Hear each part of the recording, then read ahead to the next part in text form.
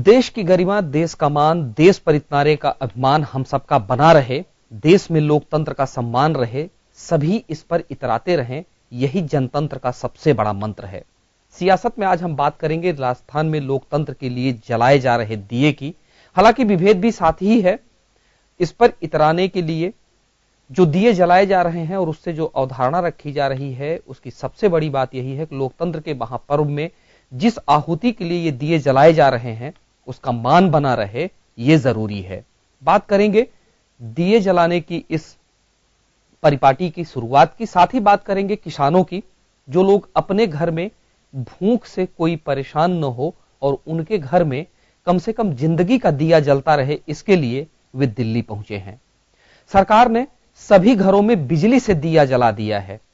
बिजली को लेकर के केंद्र सरकार की रिपोर्ट है कि उन्होंने 31 दिसंबर 2018 तक देश के 22 राज्यों को पूर्ण रूप से विद्युतीकरण कर लिया है। तो कुल मिलाकर ये जो दिए जल रहे हैं विकास के, इस पे चर्चा करेंगे आज की सियासत में। नमस्कार, आपके साथ मैं हूँ भूपेंद्र दुबे।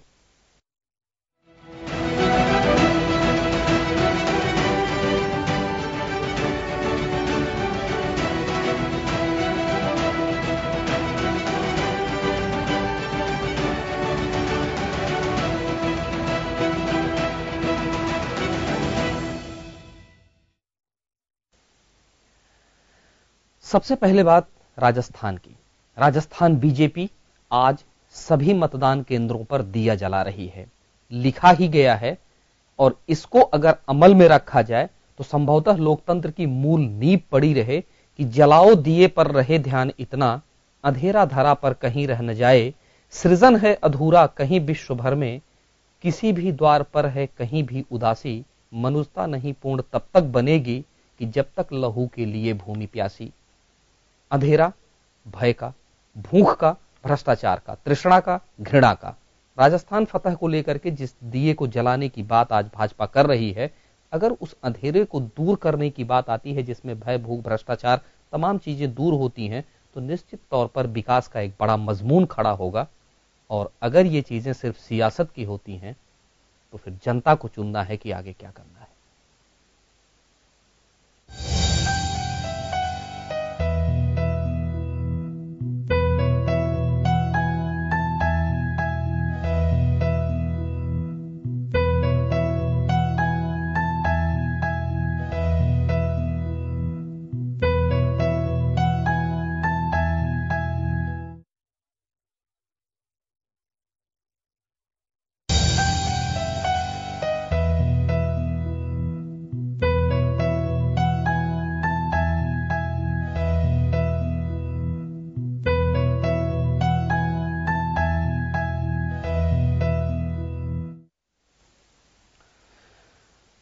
भाजपा सभी विधानसभा क्षेत्रों के मतदान केंद्रों पर दिया जला रही है। लोकतंत्र जगमगाता रहे। मजमून में तो यही है। बात अब अमित शाह की। राजस्थान के विधानसभा चुनाव में भाजपा अध्यक्ष अमित शाह प्रदेश में चुनावी दौरे पर हैं। शाह ने मसूदा और सुजानगढ़ में चुनावी सभा को संबोधित किया। उन्होंने कहा, ग्यारह दिसंबर के बाद कांग्रेस को दूरबीन लेकर ढूंढना मुश्किल होगा। गांधी नेहरू परिवार अब प्राइवेट फर्म बना चुके हैं। शाह ने कहा कि कांग्रेस ने सत्तर साल तक राज किया। लेकिन आम आदमी गरीब और किसानों के लिए कुछ नहीं किया गया। कांग्रेस पार्टी ने सत्तर साल तक अंबेडकर का इस्तेमाल किया, लेकिन सम्मान उन्होंने उनका कभी नहीं किया।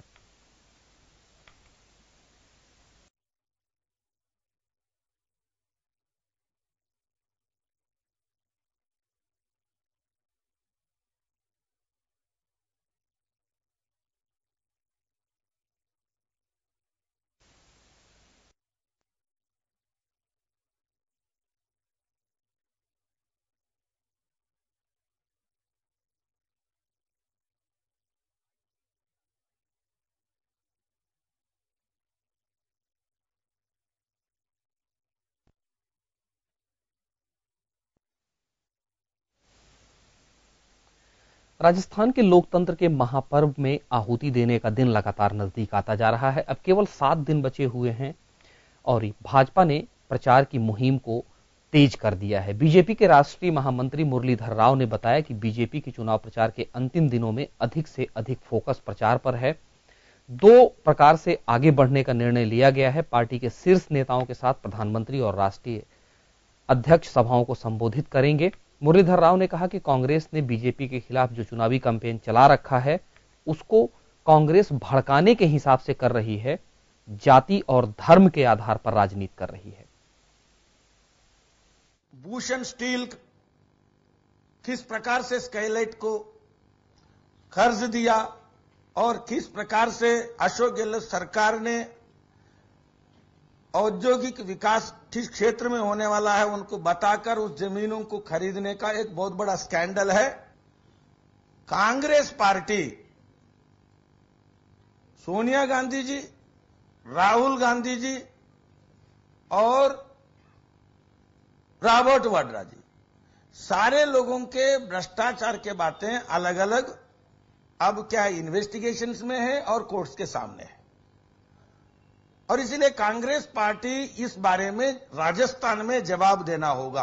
कांग्रेस की हारने की और भाजपा की जीतने की। हमारे पूरा विश्वास है कि राजस्थान में भी यह सिलसिला जारी रहेगी और संपूर्ण मेजॉरिटी के साथ राजस्थान में भारतीय जनता पार्टी जीतने जा रही है। और कांग्रेस डिवाइडेड है और डिविजिव है और डिफीटेड माइंडसेट के साथ है। हम इस चुनाव में बूथ स्तर से लेकर प्रदेश स्तर तक इस चुनौती को स्वीकार करेंगे और कांग्रेस को हम लोगों के सामने उसको खुलासा करेंगे, उनकी नीतियों बात कांग्रेस की कर लेते हैं। कांग्रेस मुख्यालय में कांग्रेस के राष्ट्रीय प्रवक्ता रणदीप सुरजेवाला ने बताया कि बिजली खरीद पर कांग्रेस ने सरकार पर हमला बोला। जयपुर में उन्होंने कहा कि इससे बड़ा स्कैम कुछ हो नहीं सकता। आरटीआई के तहत मिले दस्तावेज़ का हवाला देते हुए सुरजेवाला ने कहा कि कुल चार, जिनमें से तीन अहम निजी कंपनियों से बिजली खरीदकर वसुंधरा राज्य सरकार ने प्रदेश के सरकारी संपत्ति को छह हज़ार करोड़ का चूना लगाया है। वसुंधरा जी ने, उनकी सरकार ने इकतालीस हज़ार नौ सौ छियासठ करोड़ की बिजली खरीदी। बयालीस हज़ार करोड़ की बिजली खरीदी। पाँच साल कांग्रेस सरकार, छह हज़ार पाँच सौ छब्बीस करोड़। पाँच साल भाजपा सरकार, इकतालीस हज़ार नौ सौ छियासठ करोड़, बयालीस हज़ार करोड़। और ये मैं नहीं कह रहा, ये उनकी सरकार के आंकड़े कह रहे वहाँ से तो बयालीस हज़ार करोड़ की बिजली खरीद ली। वहाँ से तो रेट भी ज़्यादा दे दिया, डबल तक दे दिया। और सरकारी जो बिजली प्लांट हैं, जो राजस्थान की सरकार की मलकियत हैं, जो पिछली कांग्रेस की सरकार ने लगाए थे, आपने उनको धीरे धीरे बंद कर दिया या उनको धीरे धीरे इस प्रकार कर दिया कि वहाँ से पूरी बिजली पैदा ही ना हो। केवल तीन प्राइवेट कंपनियों से। इनमें एक है राजस्थान वेस्ट पावर लिमिटेड, जिसके मालिक हैं सज्जन जिंदल जी। मोदी जी के लिए जो शायद नवाज़ शरीफ जी से मिलकर भी आए थे। दूसरी है, जिनको आप सब जानते हैं, मोदी जी के दूसरे मित्र, अडानी पावर राजस्थान लिमिटेड। और तीसरी है, कोस्टल गुजरात। और इनसे, इस प्रकार से वसुंधरा जी ने यह चार्ट भी अब तो बिजली सियासत में आ ही गई। 2014 में जब नरेंद्र मोदी चुनाव में थे तो लगातार ये कहते थे कि कांग्रेस ने 70 सालों में देश को क्या दिया? बिजली आई, बिजली मिली। बिजली को लेकर के जिस तरह की बातें उठी थी और सरकार जिस तरीके से अपने आंकड़े को पेश की है, उसमें कांग्रेस के घोषणा पत्र में बिजली का मुद्दा संभवतः गायब हो गया था। लेकिन फिर कांग्रेस ने इस मुद्दे को लाया है, उसका आधार यह बनाया गया है कि बिजली मंत्रालय ने अपने पत्र में यह जारी कर दिया है कि विद्युतीकरण का कार्य पहले चरण में ही राजस्थान में पूरा कर लिया है और कोई घर ऐसा नहीं है जहाँ बिजली न पहुँचा दी गई हो। देखिए एक खास रिपोर्ट। 2018 के लिए हुए विधानसभा चुनावों में बीजेपी ने बिजली के मुद्दे को कांग्रेस के घोषणा पत्र से गायब करवा दिया। 2014 में जब नरेंद्र मोदी चुनावों में थे तो लगातार ये बात कहा करते थे कि आज भी बिजली गाँवों तक नहीं पहुँची है। 2018 तक सभी घरों तक बिजली पहुंचाएँगे। हालाँकि उसके बाद राजनीति में ये मुद्दा काफ़ी उठा भी था। बिहार में राष्ट्रीय जनता दल के राष्ट्रीय अध्यक्ष लालू यादव ने बिजली के मुद्दे को लेकर के प्रधानमंत्री नरेंद्र मोदी की एक मिमिक्री ही कर डाली थी। केंद्रीय विद्युत एवं नवीनीकरण मंत्रालय ने जो आंकड़े जारी किए हैं, उसमें मध्य प्रदेश, त्रिपुरा, बिहार, जम्मू कश्मीर और मिजोरम के साथ सिक्किम तेलंगाना और पश्चिम बंगाल में 100 फ़ीसदी विद्युतीकरण का काम पूरा कर लिया गया। इसके पहले 15 राज्यों में विद्युतीकरण का काम पूरा हो चुका है। 31 दिसंबर 2018 तक जिन राज्यों में विद्युतीकरण का कार्य पूरा होगा, उनमें महाराष्ट्र, उत्तराखंड, हिमाचल, अरुणाचल प्रदेश और छत्तीसगढ़ शामिल है। बात राजस्थान की कर लें तो राजस्थान पहले ही चरण में 100 फ़ीसदी विद्युतीकरण से आच्छादित हो चुका है। और यही वजह है कि कांग्रेस के घोषणा पत्र में हर घर को बिजली देंगे जैसा कोई मुद्दा नहीं रहा। बहरहाल, आम जनता के लिए सुकून की बात यही है कि भाजपा सरकार ने जो आलेख जारी किया है, उसमें जिन राज्यों के विद्युतीकरण के कार्य पूरे हो चुके हैं, उसमें राजस्थान पहले चरण में है। तो एक बात तो साफ़ है कि मुद्दों की फहरिस्त में कम से कम बिजली के विद्युतीकरण का मामला तो राजनीति के दांव पेच और उठापटक के बीच कम से कम 2018 में सभी के घर तक पहुँच गया, ये बड़ी उपलब्धि कही जा सकती है। अब आगे किस तरह की सियासत ऊर्जा को लेकर खड़ी होगी, ये तो फिर सियासतदान की अपनी चाल में शामिल है, लेकिन एक बात तो साफ़ है कि आम जनता के घर बिजली पहुँची है, ये बड़े सुकून की बात है। Bureau report, Jan TV. तो बिजली एक बार फिर से राजस्थान के चुनाव में मुद्दा बनी है। हालाँकि इससे पहले बिजली को लेकर के कांग्रेस ने अपने घोषणा पत्र में बहुत सारी बातें नहीं कही थी, लेकिन अब बिजली के खरीद में खर्च किए गए पैसे पर चर्चा ज़रूर शुरू हो गई है। केंद्र सरकार ने अपने रिपोर्ट में यह कह दिया है कि 22 राज्यों के पूर्ण विद्युतीकरण का कार्य 31 दिसंबर 2018 तक पूरा कर लिया जाएगा। निश्चित तौर पर विकास की एक बड़ी अवधारणा खड़ी करने की कोशिश हुई है। खर्च को लेकर के मुद्दा बताया जा रहा है। बीजेपी अपने तरफ़ से उसका उत्तर भी दे देगी, लेकिन सियासत में बिजली को लाने का काम तो एक बार फिर राजनीतिक दलों ने शुरू कर दिया। सियासत में वक्त एक छोटे से ब्रेक का है। ब्रेक के बाद लौटेंगे तो और भी खबरों को देखेंगे। बहुत जल्द लौटते हैं।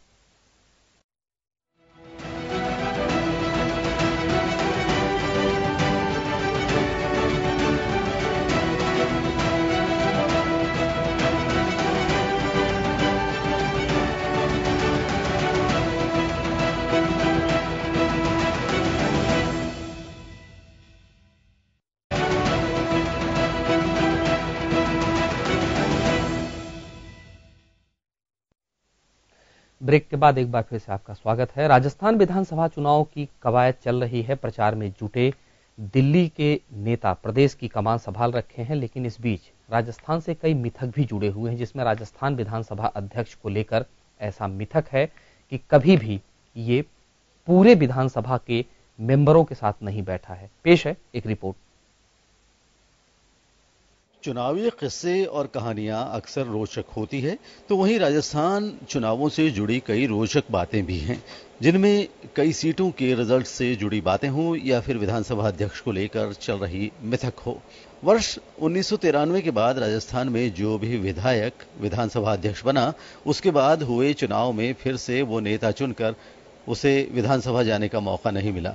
इसमें चाहे विधायक का टिकट कटा हो, या फिर हार का मुँह देखना पड़ा हो, या फिर चुनाव ही नहीं लड़ा हो। इस सीरीज़ में अगर सबसे पहले बात करें उस समय के विधानसभा अध्यक्ष शांतिलाल चपलोत की तो चपलोत उन्नीस सौ अठानवे में विधानसभा चुनाव नहीं जीत पाए। वर्ष उन्नीस सौ अठानवे में विधानसभा अध्यक्ष परसराम मदेरना बने, लेकिन 2003 में चुनाव ही नहीं लड़ा। इसी तरह इसके बाद सुमित्रा सिंह विधानसभा अध्यक्ष बनी, लेकिन इसके बाद वो चुनाव लड़ी, लेकिन चुनाव हार गई। 2008 में विधानसभा अध्यक्ष बने दीपेंद्र सिंह, जिनको 2013 के चुनाव में टिकट तो मिला, लेकिन फिर से संयोग ऐसा बना कि वो विधानसभा तक नहीं पहुँच पाए। फ़िलहाल विधानसभा अध्यक्ष कैलाश मेघवाल हैं। भाजपा ने उन पर फिर से विश्वास जताया है। लेकिन देखना होगा कि जो मिथक विधानसभा अध्यक्ष को लेकर चला आ रहा है, वो इस बार टूटेगा या फिर मिथक ही बना रहेगा। हालाँकि ये आंकड़े कोई राजनीति में मायने नहीं रखते। जनता के वोट से नेता चुनकर विधानसभा जाते हैं। हालाँकि ये ज़रूर कहा जा सकता है कि इस तरह के मिथक को माना भी जाता है, जिसकी वजह से विधानसभा में हवन पूजन भी हो चुका है। जन टीवी के लिए अनिल सेन की रिपोर्ट। तो विधानसभा में नीतियों के जो अध्यक्ष हैं, अगर बनते हैं तो जीत कर नहीं पहुँचते, ये मिथक है। वहीं अपनी बातों को लेकर के दिल्ली दरबार में पहुँच चुके किसान ये फरियाद कर रहे हैं कि उन्हें दाम दिया जाए। खेती करने में जो खर्च होता है, उसका पैसा निकल नहीं रहा है, और लगातार कांग्रेस सरकार ये बात कह रही है कि हम समर्थन मूल्य से ज़्यादा पैसा दे रहे हैं। पैदावार बढ़ी है। 2010 से 2014 और 2018 के आंकड़ों की बात करें तो केंद्रीय कृषि मंत्रालय ने अपना बुलेटिन जारी करके ये कहा है कि पैदावार लगभग 40 प्रतिशत तक बढ़ा है और भारत के जीडीपी में उसकी भूमिका काफ़ी अहम हुई है। लेकिन उसके बाद भी किसान नाराज़ हैं, दिल्ली में मार्च कर रहे हैं। पेश है एक रिपोर्ट। खेती के लिए लिए गए कर्ज और किसानों की कमाई को दुगना करने के लिए दिल्ली में जो दंगल मचा हुआ है, उसका असर राजस्थान में सियासी मजमून के साथ तो अब दिखने लगा है। किसान अपनी कमाई को लेकर दिल्ली में संसद भवन तक अपनी फरियाद लेकर के पहुँचे हैं। वहीं सरकार की बात करें तो केंद्र सरकार के मंत्री ये बात बताने में लगे हुए हैं कि किसानों की कमाई को बढ़ाने के लिए सरकार ने काम किया है।